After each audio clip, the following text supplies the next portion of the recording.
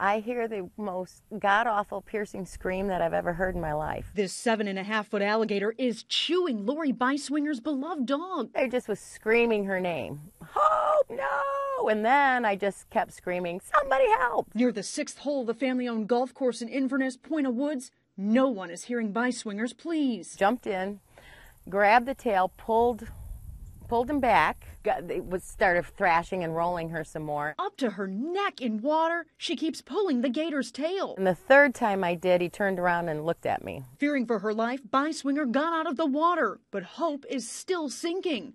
Finally, someone heard Hope yelping and runs to help. I think the dog's dead because all I could see were the whites of its eyes. Jodie Daniels grabbed a golf club, wading knee deep into the water. Unable to reach Hope, he grabbed this shovel. Was quite as shocked to pull a dog up and the gator's still attached to the dog. Hope is suffering from a severed artery.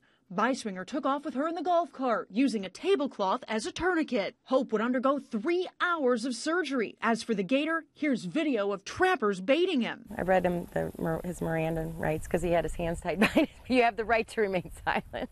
Trappers put the gator down, selling his meat. Now gator bites, so some restaurant.